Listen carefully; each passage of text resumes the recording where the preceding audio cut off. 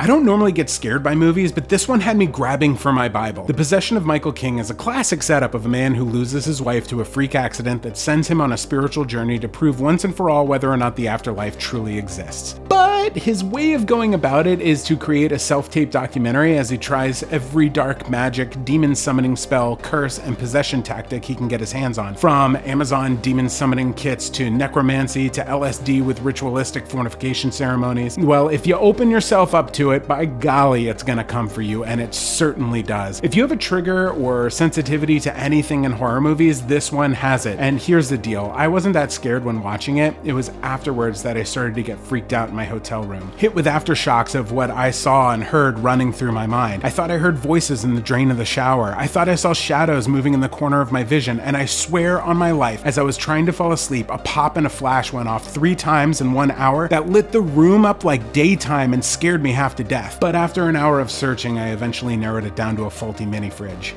I think. I love possession movies, and it had been a long time since I'd seen a really good one, and I just knew I had to see it when T. Jason PVD suggested it by telling me